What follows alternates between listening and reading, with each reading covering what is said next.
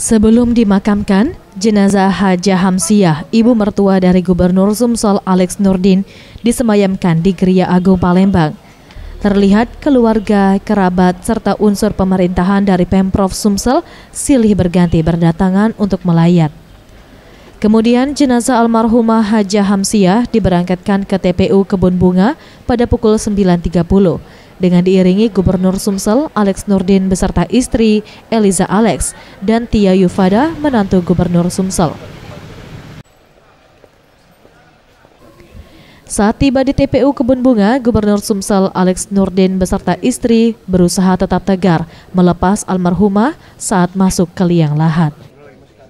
Tim Liputan Sriwijaya TV.